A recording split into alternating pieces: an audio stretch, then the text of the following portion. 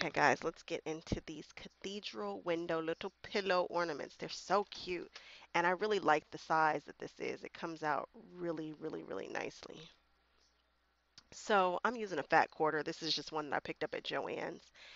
And the colors kind of match this blue and red that I'm going for, kind of tealish, kind of red, turquoise, somewhere in that wheelhouse. And so what I'm trying to do is grab a 10 by 10 inch square from this, and I was able to actually get two. And I am going to use this square to build on. And I'm just making sure that it's all nice and squared up. I'm using my big 12 and a half inch ruler and it looks it looks good. Ooh, a little eggnog for the season. And again, like I said, I was able to get two out of this fat quarter. Matter of fact, I was able to get the back for this also out of the fat quarter. You'll see I'm going to need to cut some 5 inch squares too. So this is a 10 inch square.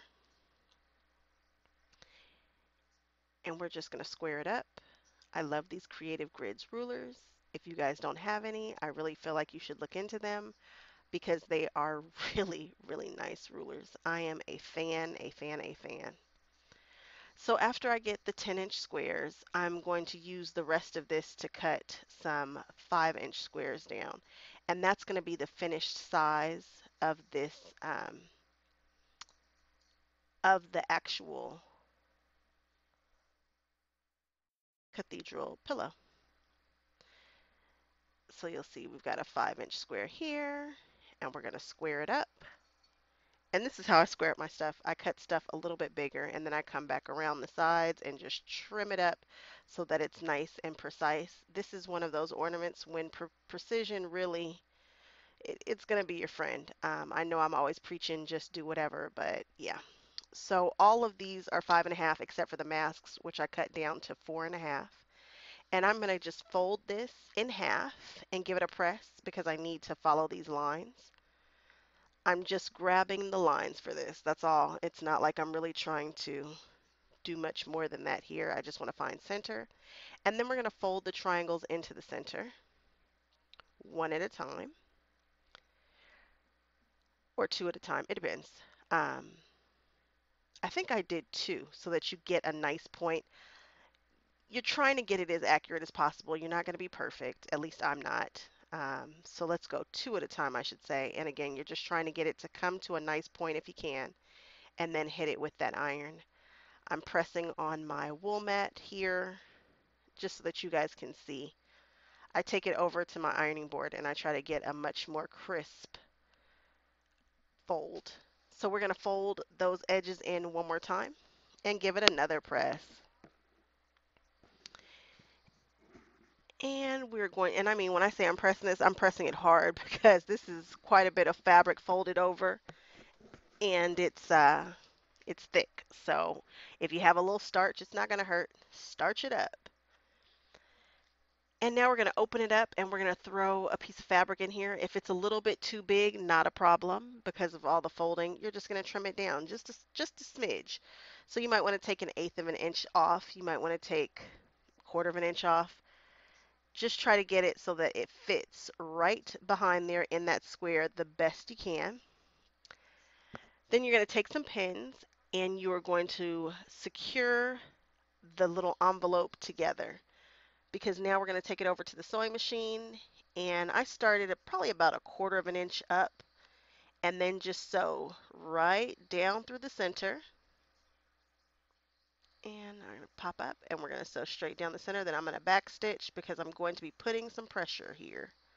And then you're going to do the same thing for the ones that go the other direction.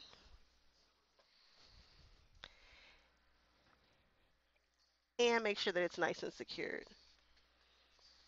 Now we're going to take this four and a half inch square and we're just going to cut it up into some smaller triangles. And I'm using my rotating mat so that I don't have to disturb the fabric and I'm going across one way and then I'm going across the other way and then I'm done. Just that simple. And now I have four triangles. Because I'm making two ornaments I'm doing another one. And if you guys want to super mass produce these you really can. It seems like these things take a long time but really the cutting is what takes up the most time in my opinion. So if you do this assembly line style and just cut a ton of 10 inch squares, a ton of five inch squares, and then a ton of the four and a half inch squares, and you'll love it. You'll be like, huh, this isn't that bad. So right now I'm just testing to see what it looks like when I put these on. I should have about an eighth of an inch around. And look, it's all cute. I put them back the way that I got, like the way that I cut it, so you can see that the masks kind of come together. I like that. It kind of gives it some, I don't know, some symmetry, I guess you could say. I use Elmer's white glue in this bottle applicator, and it's just got a fine tip on it. And I do a little bit of basting here. I'm not putting a ton of glue down, just enough to get it to stick. You really want to be sure that it sticks at the tips, all the tips. And then you do the same thing for all of them. I hit that with an iron just to make it go faster and dry faster. Then you simply pull these back on either side. No rhyme or reason to the way that I did this. I just rolled it back until it looked nice to me, until it looked good. And then I just stitched it, stitched it down.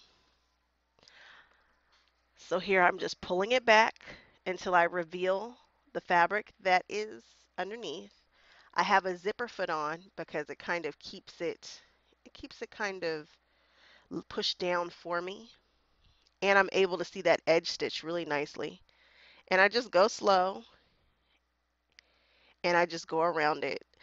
A friend of mine, we're having a conversation today about not using your feet. They're like a crutch, you know, so you can probably do this without a zipper foot. Um, you see that's a nice clean it's a nice clean stitch. It kind of stays the same uh, length away from the side. I think it looks pretty good. I do all the ones on the left hand side so that I don't have to move my zipper foot. So you see I'm doing another one that's opening to the left. And I just keep doing that going all the way around until I do all the ones on the left. Then I move that zipper foot over to the right. And then I don't even have to worry about it. Just do all the ones to the left. This is fun. You know, usually stitching like this makes me nervous because I'm so scared that it's going to go off or I'm going to miss a stitch or whatever. Not that serious. Just relax and have fun with it. There are so many different fabrics that you, could you just imagine all the different combinations you can come up with? Now notice that big blue square is the one that you, you it's the one that's being shown when you pull it back. So kind of think about which color you want to put where, which color you want to be the reveal. And the masks are really the showstopper on this, but you just have to figure it out the best way you want to do it. So now I'm taking that last square and I'm putting it right sides together. And then we're going to go around and stitch, but we're going to leave a hole for the opening.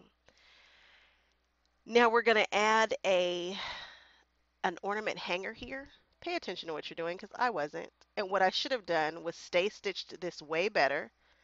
So I just went ahead and I folded it, fold the ribbon, threw a pin in there. I did a stay stitch, but I should have, you see the one on the left? I should have been paying attention to that because I caught that in the seam and so my ornament's a little wonky, but don't do that. Make sure that the ribbon is not going to get caught in the seam.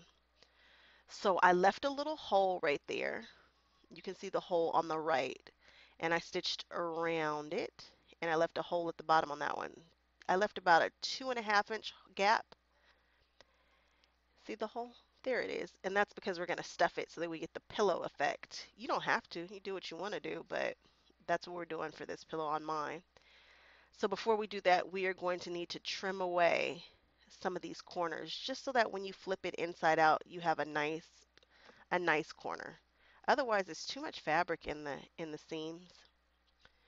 So I'm just grabbing a ruler and I'm tipping that stuff off just in the corners. I did not need to use my ruler for this. Just be sure that you don't snip the seams. That's what would really be the issue here. So I leave about less than an eighth. I'm putting it just over that fabric. And there we go. And that's all four corner snips. Do the same thing on the others. Take your time on this because this would be where things go very left if you don't. Then you chop into your ornament and I don't know how to teach you to fix that. So again, be careful here. and just take off all four corners. And with this hole, there are a couple of different ways that you can close it up. You can stitch it. I actually glue mine. I use fabric permanent glue. I haven't had an issue with the permanent glue coming apart. Um, it says that it's permanent. It says that you can wash it. It says that you can use it to hem. And sometimes, oftentimes, I do not want to.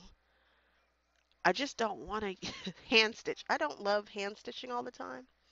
So I turned it inside out and I stuffed it and I used some glue to close it. It's just as simple as that. Turn it inside out, put some stuffing, some polyfill in there. And now I'm using a button to stitch down the center so that you get that puffy kind of effect. And that's it. And I did have to hand stitch. Actually, I didn't, but I did end up hand stitching this. I could have done this with the machine too. And that is the ornament, guys. It's just a cute little pillow.